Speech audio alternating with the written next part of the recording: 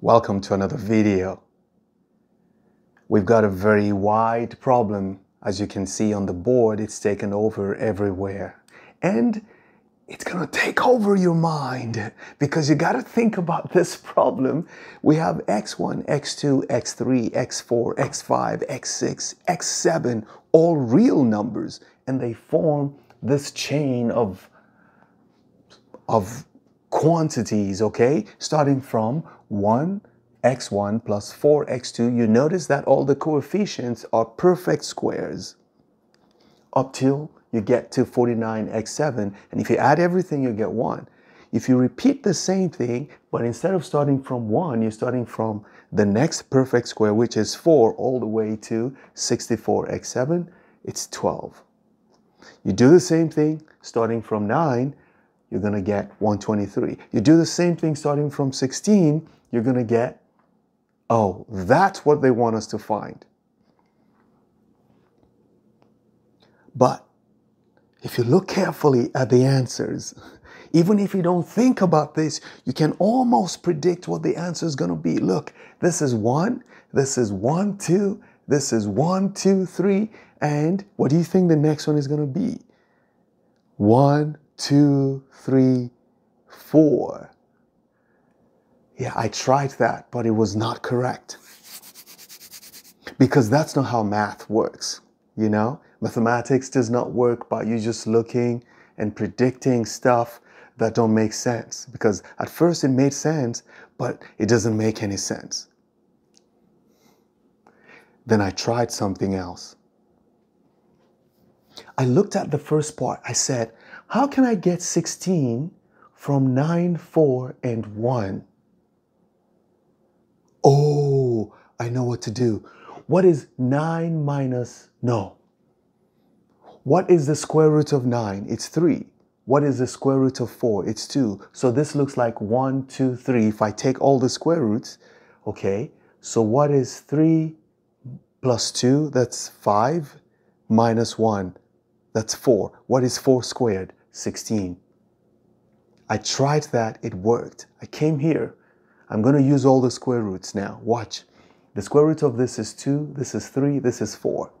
So I'm going to say 4 plus 3, what is that? 7. 7 minus 2, 5. What is 5 squared? 25. I came here. It worked for all of them.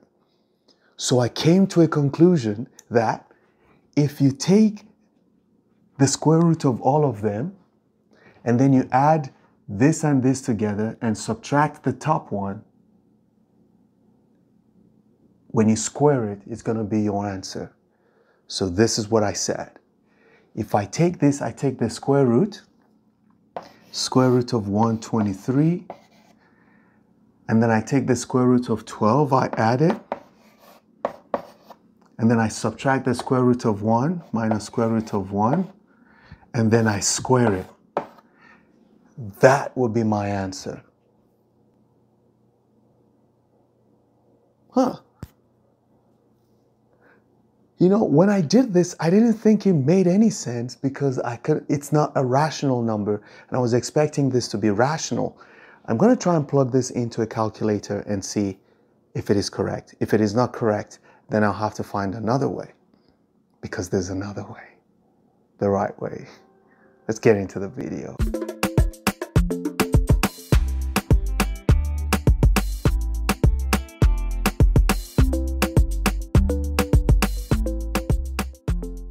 Okay, so it doesn't fit the profile. so now let's actually solve this like mathematicians. We have to just apply the algebraic rules that we've learned from ninth grade. Okay, look at systems of equation. We call this equation one, equation two, equation three. Try do some elimination and life is gonna be good. So this is what I wanna do. It doesn't matter which one I focus on, just pay attention to the numbers, okay? Now, watch the difference between, because all of these are the same variable, okay? And the same principle applies to them all. Now, what's the gap between 49 and 64? If I subtract 49 from 64, I'm going to get 15. If I subtract 64 from 81, I'm going to get 17. If I subtract 81 from 100, I'm going to get 19. So you notice that it is, the gaps are 15, 17, and 19. Now you've seen some common gaps after you do the first subtraction.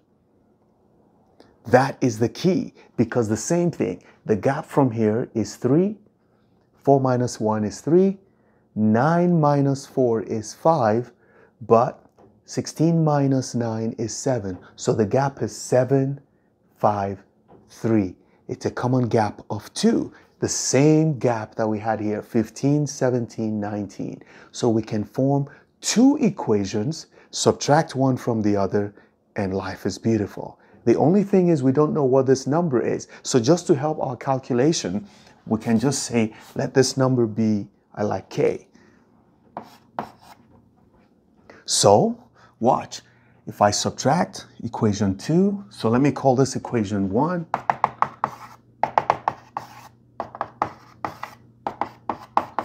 Okay, four equations. Let's do equation 2 minus 1. This minus this is going to give me 3x1. This minus this is going to give me plus 5x2 plus 11. If I do the same thing, this minus this, what would I get? 5x1 plus 7x2 plus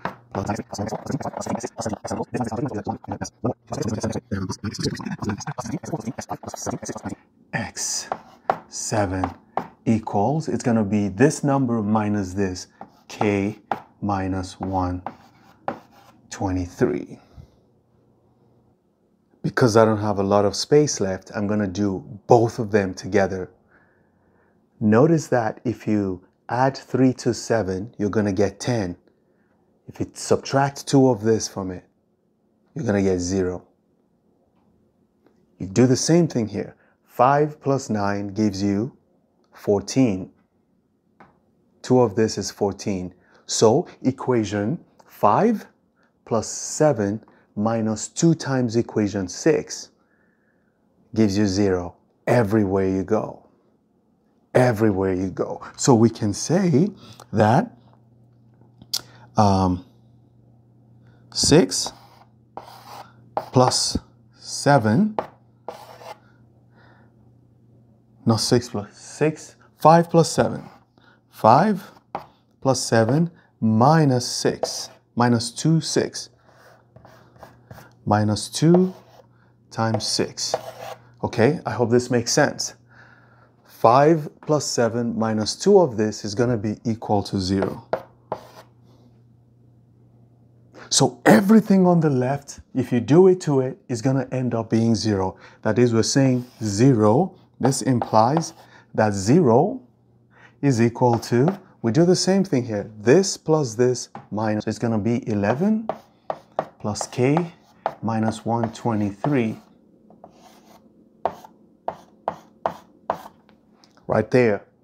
So we got 11 plus, so 11 plus k minus 3 minus 2 of what is in the middle. 2 times equation 6 is going to give us the answer. Okay, so this is 222. This is 11 um, this is a subtraction, this is a subtraction. So how do we get it? We can say k is equal to, if we move these here, 123 plus 222 minus 11. 123 plus 222 is going to be 345. Nice.